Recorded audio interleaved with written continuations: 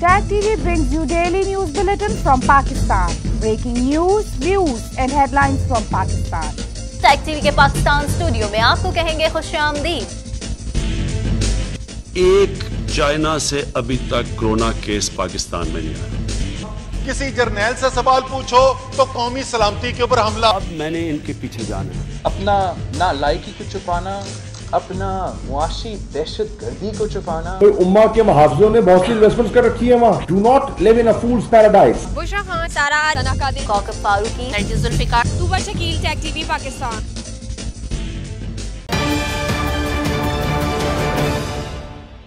अस्सलाम वालेकुम नाजरीन टैग टीवी के पाकिस्तान स्टूडियो से मैं हूँ नाजा नियाजी। सबसे पहले नज़र डालते हैं अहम खबरों पर। तोशा खाना रेफरेंस नवाज़ के वारंट गिरफ्तारी जारी। जरदारी को हाजिरी से तस्ना मिल गया। तमाम मुलजमान को 11 जून को हाजिरी यकीनी बनाने की हिदायत। पीआईए हादसे में एक ही घर के पाँच लोगों की मैयतों में से दो की शनाख्त के बाद नमाज़ जनाजा अदा। हुकूमत पाकिस्तान का तैयारा हादसे की रिपोर्ट 22 जून को पब्लिक करने का ऐलान। अदालत ने कहा, हुकूमत को पहले रिपोर्ट पब्लिश करने दें, बाद में नोटिस करेंगे। कोरोना बेकाबू, मुल्क में रिकॉर्ड सत्तावन जिंदगियाँ निकल गया। अमवात की तादाद 1300 से तजावज कर गई, जबकि चौंसठ हज़ार अट्ठाईस मुतासर हो गए। दुनिया भर में अकवा मुतहदा का आलमी दिन मनाया गया। यूएन के मिशन में दुनिया भर में एक मिलियन से ज़्यादा मर्द और खातन अपनी खदमात अंजाम दे रहे हैं। इस्लामाबाद की एहतसाब अदालत ने तोशाखाना केस में सबक वज़ीर अजम नवाज़ शरीफ के वारंट गिरफ्तारी जारी कर दिए। आसिफ जरदारी की हाजिरी से इस्तना की दरख्वास्त मंजूर, जबकि यूसुफ रजा गिलानी को गिरफ़्तार करने की नैब की सदा मुस्तरद कर दी गई। इस हवाले से मजीद जानते हैं।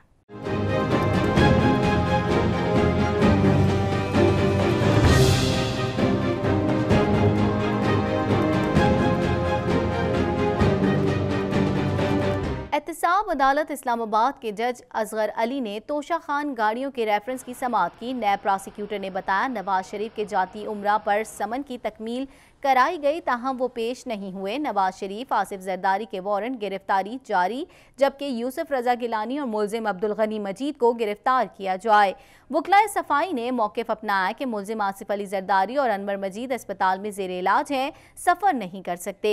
चेयरमैन नैब ने वारंट गिरफ्तारी जारी नहीं किए तो नैब प्रोसिक्यूटर कैसे गिरफ्तारी का कह सकते हैं?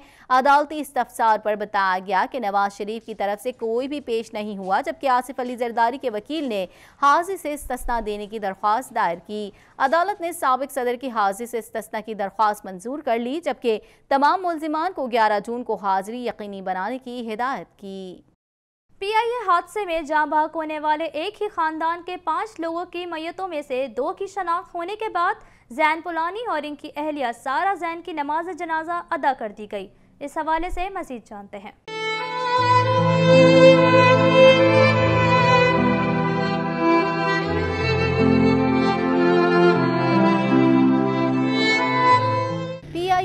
हादसे में एक ही घराने के पाँच लोगों की मैयतों में से दो की शनाख्त होने के बाद जैन पोलानी और उनकी अहलिया सारा जैन की नमाज़ जनाजा आलमगीर मस्जिद बहादुराबाद में अदा कर दी गई, जबकि उनके तीन बच्चों की लाशों की शनाख्त नहीं हो सकी।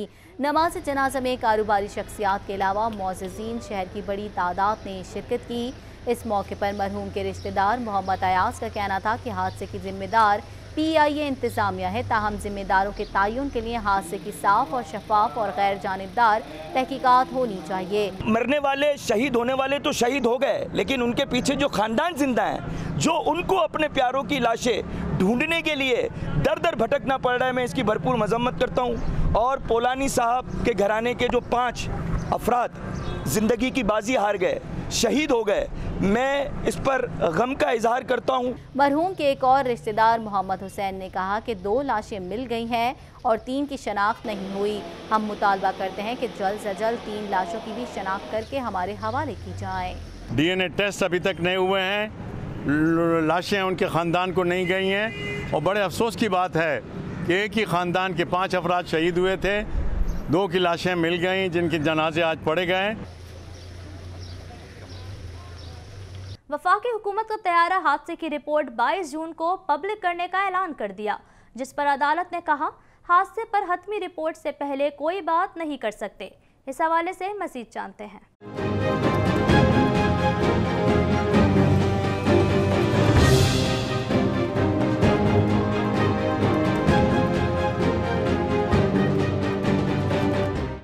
हाई कोर्ट में पीआईए तैयारा हादसे की शफाफ तहकीकात से मुतालिक दरख्वास्त पर समात हुई। अदालत ने डेप्टी अटॉर्नी जनरल से इस्तफसार किया, तैयारा हादसे की रिपोर्ट कब तक आएगी, जिसमें बताया गया कि विफाकी हुकूमत का तैयारा हादसे की रिपोर्ट 22 जून को पब्लिक करने का ऐलान किया गया है। डेप्टी अटॉर्नी जनरल पाकिस्तान ने सिंध हाई कोर्ट को आगाह किया कि 22 जून तक रिपोर्ट आने के इम्कान है। वज़ीर आज़म की हिदायत पर रिपोर्ट भी पब्लिक की जाएगी। दरख्वास्त गुजार ने कहा कि 22 मई को जो तैयारा तबाह हुआ, वो नकारा था, जिस पर अदालत ने कहा कि आपने तो इस्तदा की। पी आई ए के तमाम तैयारे ग्राउंड कर दें और दरख्वास्त गुजार से इस्तफसार किया कि ये कैसे मुमकिन हो सकता है। अदालत ने कहा कि हादसे पर हतमी रिपोर्ट से पहले कोई बात नहीं कर सकते, जिसके बाद सिंध हाई कोर्ट ने दरख्वास्त पर मजीद समात 25 जून तक मुलतवी कर दी। पाकिस्तान में कोरोना के मुतासरीन तेज़ी से बढ़ने लगे। मुल्क भर में कोरोना के तस्दीक शुदा केसेस की तादाद चौंसठ तक पहुँच गई, जबकि एक दिन में सत्तावन अफराद जा बहक हुए, जिसके बाद अमवात की तादाद एक हज़ार तीन सौ सत्रह हो गई। मजीद जानते हैं इस रिपोर्ट में।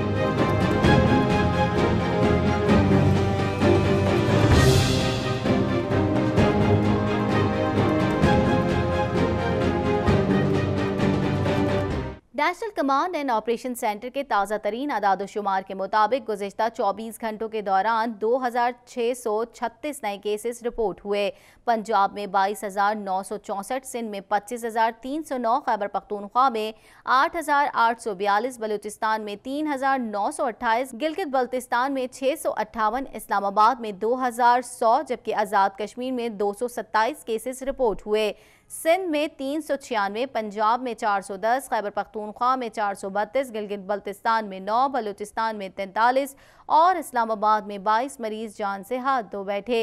कोरोना के हवाले से बात करते हुए तजियाकार अदीब सफ़ी का कहना था कि जो लोग तजुर्बात कर रहे हैं, देख रहे हैं, उसकी वैक्सीन तैयार कर रहे हैं, सारा कुछ हो रहा है तो इस दौरान जो बीमार हो रहा है, उसके तमाम जो सिम्टम्स है, उनको एनालाइज किया जाता है और करने के बाद फिर उसके मुताबिक उनको सिम्टोमेटिक ट्रीटमेंट दिया जा रहा है।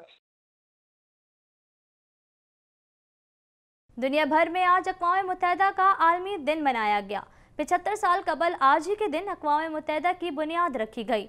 मगर इसकी ज़रूरत क्यों पेश आई? देखते हैं इस रिपोर्ट में।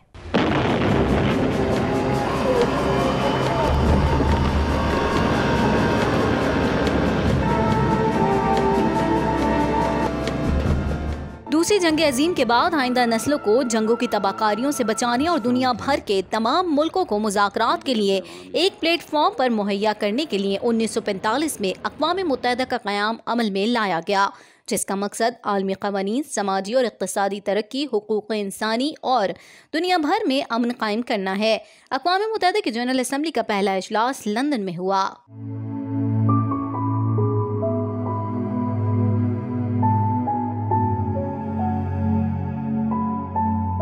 1948 में शुरू होने वाले यूएन के मिशन में आज दुनिया भर में एक मिलियन से ज़्यादा मर्द और ख़वान अपनी खदमात अंजाम दे रहे हैं और अपनी जान खतरे में डालकर लोगों को तशद और जुल्म से बचाते हैं। यूनाइटेड नेशंस की डिफरेंट एजेंसीज मुख्तलिफ़ मुल्कों में रियासतों के साथ मिलकर इंसानी अपलिफ्ट की ह्यूमन एम्पावरमेंट की कोशिशें कर रही है, जो बहुत काबिल कदर है। इस वक्त दुनिया भर के एक सौ बानवे के करीब आज़ाद ममालिक और रियासतें अकवा मुतहदा की रुकन है, जबकि अकवा मुतहदा में छह आलमी जबानों, अरबी, इंग्लिश, चाइनीज़, फ्रांसीसी, रूसी और हस्पानवी में कार्रवाई होती है।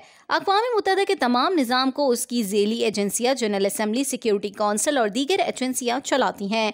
न्यूयॉर्क को मुतफ़ा तौर पर इदारे के हेड क्वार्टर्स के लिए मुंतखब किया गया। इसीलिए हर साल अकवा मुतहदा की जनरल असम्बली का अजलास न्यूयॉर्क में होता है। मजीद खबरें भी बुलेटिन का हिस्सा होंगी मगर इस ब्रेक के बाद। Subscribe Tag TV YouTube channel and press the notification button.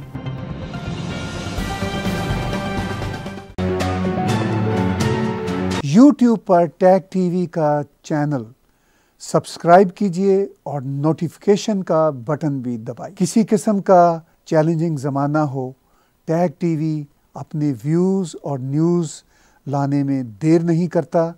आपका तावन भी हमें चाहिए। टैग टीवी को अगर आप स्पॉन्सर्स कर सकें, आप इश्तहार दे सकें, तब भी हम आपके बहुत शुक्रगुजार होंगे।